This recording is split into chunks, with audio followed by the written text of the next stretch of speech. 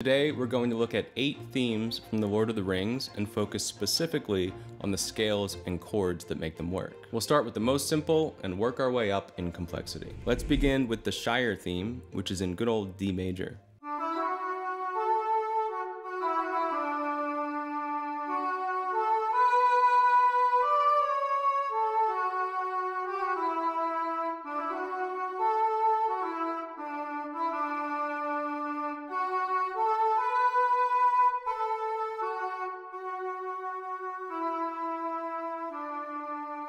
This theme is in a standard major key with no borrowed notes or chromatics from any other keys or anything fancy like that. It's safe, it's pleasant, it's positive, and it's wholesome. It's pretty much everything you need to represent the Shire and the Hobbits. If we just change a few notes and play it in D minor, it's pretty obvious it's no longer really appropriate.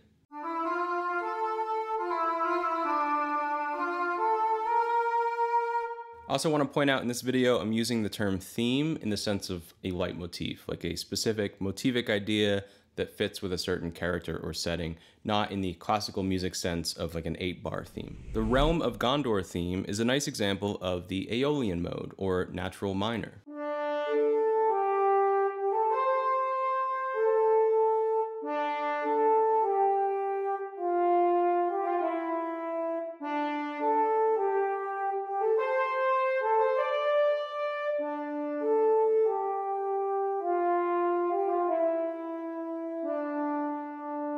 Natural minor has a sad quality without the bite of classical harmonic minor. In D natural minor, the seventh note is a C.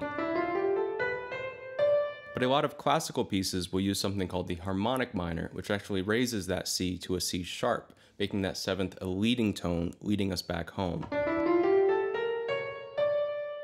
In natural minor, we don't raise that leading tone, so we end up with a softer, more gentle sound.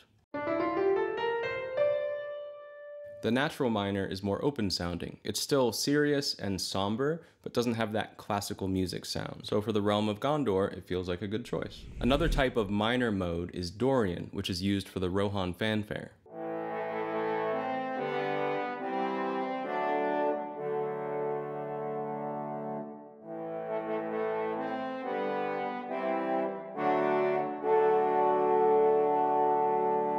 What makes Dorian different from just natural minor is that the sixth scale degree is raised. So instead of this,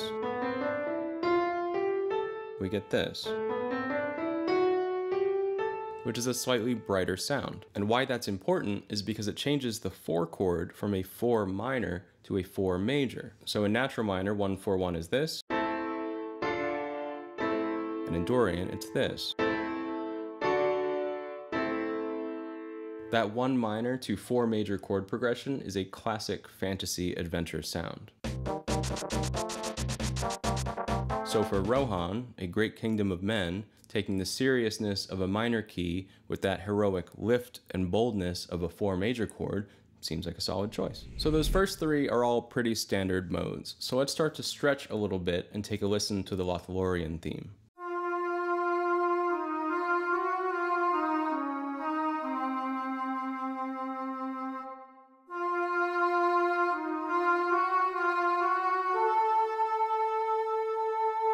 The Lothlorien theme is the last one we're going to look at that sticks to one single mode, but it's an unusual mode because it's actually one of the modes of harmonic minor. We already saw that the harmonic minor is the natural minor scale, but with a raised seventh degree. So here's B flat natural minor,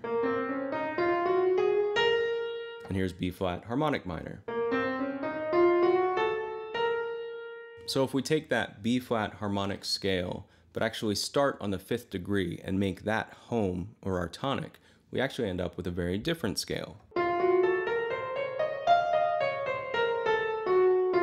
This is called Phrygian dominant. The Lothlorien are elves, and unlike the elves of Rivendell, which we'll get to in a bit, they're more suspicious of men. Using a mode of the harmonic minor scale not only just gives them an exotic sound, it also makes them feel more removed, like those themes from Gondor and Rohan we already heard. Doug Adams points out in his book The Music of the Lord of the Rings, which by the way, is my main resource for this video, that the Phrygian dominant has a Middle Eastern sound to it. So it evokes a certain foreign quality to Western listeners who are not as used to that scale. Now let's start to look at themes that mix and match different keys or modes. We'll start with the fellowship theme, which is probably my favorite.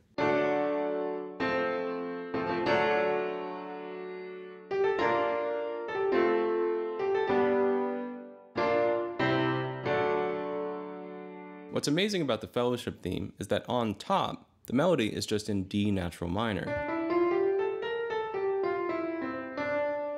But the whole thing is harmonized with major chords, especially that D major chord right at the beginning.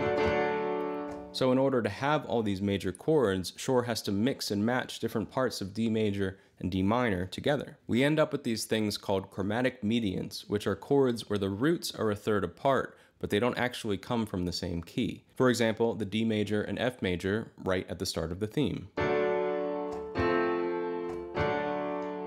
In an older video on this topic, I've already talked about how major chords from outside your key feel more major, and minor chords from outside your key feel more minor. That more major quality gives the whole theme a lift and heroicism that we wouldn't get just from plain D major on its own. Here's what that sounds like if we start on D minor instead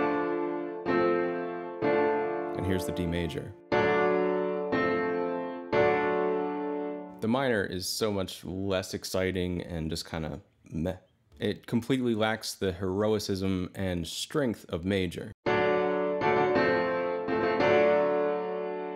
By the way, if any of this is interesting or you're enjoying the video, please leave a comment below. It seems to be the best way to tell YouTube to keep promoting it. And if you don't know what to write, how about you share your most Lord of the Rings relevant emoji? The Fellowship theme is a good example of mixing major with major. So now let's look at how Gollum's theme mixes minor with minor.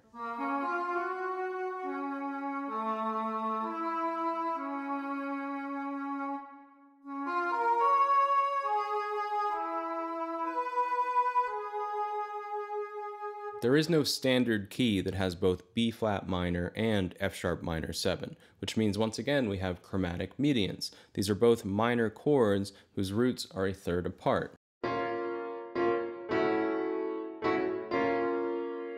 The minor chord from outside the key feels more minor, which makes sense for a dark, twisted character like Gollum. And it's actually possible to mix non-diatonic major and minor qualities, which we'll see next in the Rivendell theme. The core idea of the Rivendell theme is this rising and falling line.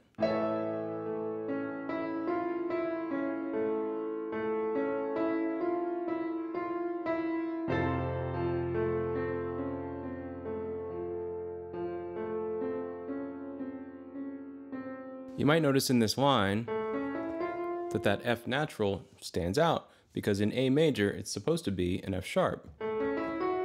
The F natural pitch has to be borrowed from the A minor mode, and so by bringing in chords and pitches from A minor, but with an A major foundation, we get this very bittersweet sound. It feels like a good match for the elves of Rivendell, who are ancient and wise, but more receptive of men than the Lothlorien. So here, Howard Shore is using mode mixture to get a very complex and rich sound, but for the ring theme, he takes it to another level. Here is just the melody for the theme, The History of the Ring.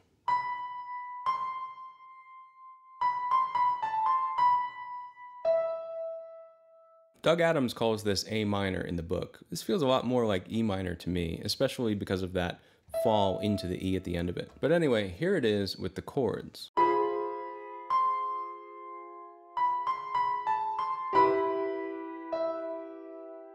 He has E minor on the top with F minor on the bottom, which are two chords that are not supposed to go together. He's using polytonality. Tonality is the idea that the music gravitates around a central pitch or tonic.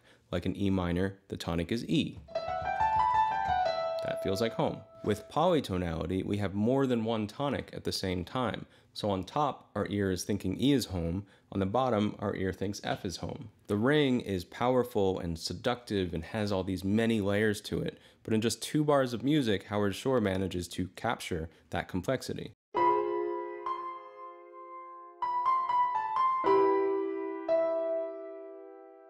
Compare that to the Shire theme, which was in just plain happy D major. The hobbits are the good guys, plain and simple. The ring is something much more sinister. All of these themes have various rhythms and steps and leaps, but it's the choice of mode that really makes one theme fit for a character that wouldn't really fit for a different one. A lot of times modes get explained in kind of a weird backwards way, so if you really want to understand modes and how they can be used to create different moods and emotions, you should check out this video here, which if you've never heard of modes should help get you up to speed, and if you've heard of them before but didn't really understand them, should help you make sense of it all. Thanks for watching, I'll see you in the next one.